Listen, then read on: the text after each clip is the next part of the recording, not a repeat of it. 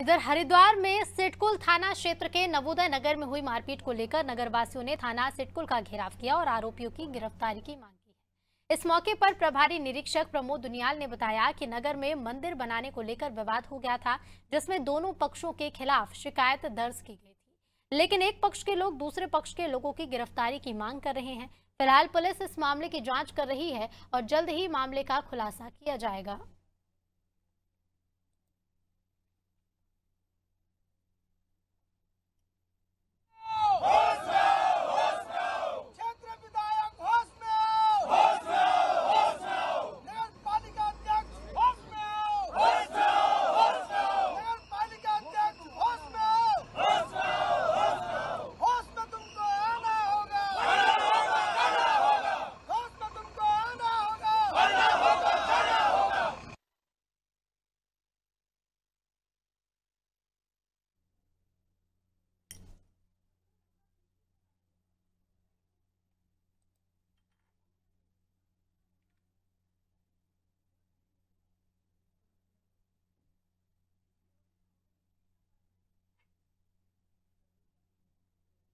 और संवाददाता अनिल हमारे साथ जुड़ गए हैं। अनिल नवोदय नगर में हुई मारपीट को लेकर नगर वासियों ने थाने का घेराव किया है।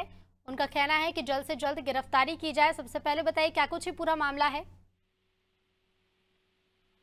हेलो? जी अनिल आपको मेरी आवाज़ मिल रही है? जी जी जी जी मिल रही है। जी अनिल क्या कुछ ही पूरा मामला विस्तार से जानकारी दीजिए। ये छिटकुल के नवोदय नगर नगर में दो दिन पहले आपसी विवाद हुआ था। एक मंदिर को लेकर के विवाद है जिसमें काफ़ी धरना प्रदर्शन ग्रामीणों ने किया है। जी। जी। अनिल नगर वासियों का कहना है कि जल्द से जल्द आरोपियों की गिरफ्तारी की जाए। क्या आरोपियों की पहचान हो पाई है? पुलिस को सबूत मिल गए हैं? क्या कुछ जानकारी उनकी गिरफ्तारी को लेकर? नहीं अभी कोई गिरफ्तारी नहीं हुई है। पुलिस का कहना यह है कि मामला हमारे संज्ञान में है परंतु कोई इस तरह का मामला नहीं है जिसमें अभी हम गिरफ्तारी कर सके। अभी हम विवेचना कर रहे हैं विवेचना के बाद निर्णय लेंगे गिरफ़्तार करना है या नहीं करना है। अनिल जिस जगह पर मारपीट हुई क्या किसी तरह का सीसीटीवी फुटेज या कोई साक्ष्य बरामद हुए जिससे स्पष्ट हो सके कि जिन आरोपियों की गिरफ्तारी की मांग की जा रही है वो सही है या नहीं? साक्ष्य बरामद हो गए हैं। ठीक है अनिल बहुत बहुत धन्यवाद आपका तमाम जानकारियों के लिए। तो थाना सिटकुल क्षेत्र के नवोदय नगर में मारपीट हुई और इस घटना को लेकर नगर वासियों ने थाना सिटकुल का घेराव किया।